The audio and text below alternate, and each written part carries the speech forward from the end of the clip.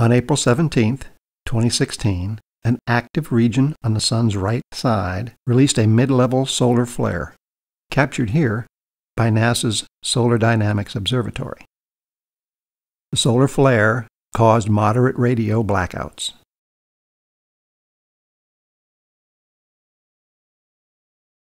This video was captured in several wavelengths of extreme ultraviolet light and color-coded for easy viewing.